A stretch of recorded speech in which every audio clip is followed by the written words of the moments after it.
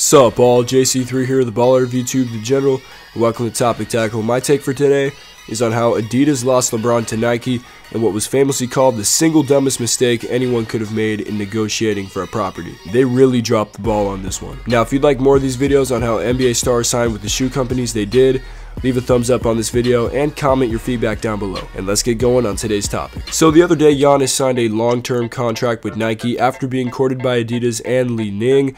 And if you saw my video on how the Greek freak can make history in the near future, then you would know that I believe he will be the best player in the world when LeBron retires. This would mean that Nike or Jordan brand, which is a subsidiary of Nike, has the best player in the world wearing their shoes since MJ. This potential reality just increases Nike's popularity and overall brand, as it was reported back in 2014 that 72% of players in the NBA wear shoes from Nike or Jordan brand. That number is probably higher now, although Adidas is starting to step its game up in the basketball footwear industry. And with Adidas mentioned, thus begins how LeBron was on the verge of sporting the three stripes instead of the swoosh for his career. To understand this story, we have to become familiar with Sonny Vaccaro. His career was covered in the ESPN 30 for 30 film Sole Man, which released in 2015, but here are some of the brief details if you didn't see the documentary. Basically, this dude defied the norm of waiting for young basketball players to turn professional until a company would even consider offering them a contract. Vaccaro would connect with high school basketball players through the Dapper Dan Classic, which kicked off in 1965. You could think of this as the McDonald's All-American game before it was called that. He eventually made his way to Nike where his goal was to land a signature athlete from the 1984 draft class and while virtually everyone else wasn't thinking about Michael Jordan, Vaccaro was and got MJ to come on board with the swoosh. Then he was let go from Nike in 1991 and went to Adidas. He managed to convince 17 year old Kobe Bryant to sign with the brand,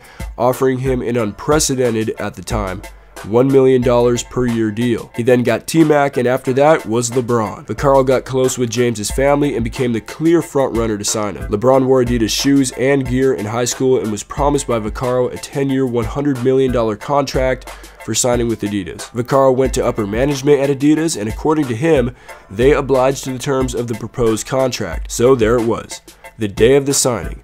A sales presentation was being made to the James camp and Vaccaro realized that management had altered the terms of the contract. Instead of 10 million a year for 10 years, it was 7 million a year for 10 years with incentives. Vaccaro's promise to James's family, who he had grown close to, was broken. Nike took advantage of Adidas' incompetence and signed James to a $90 million deal for seven years with incentives. Adidas' net worth in 2003 was $4.3 billion, and they passed on signing LeBron James to save $30 million. Think $30 million is a lot? Yeah, it is, but compared to how much money LeBron has brought to Nike, including 340 million from March 2014 to 2015, it's laughable that Adidas chose to not pony up the money. Anyway, LeBron signed a lifetime deal with Nike back in December of 2015, worth north of $1 billion.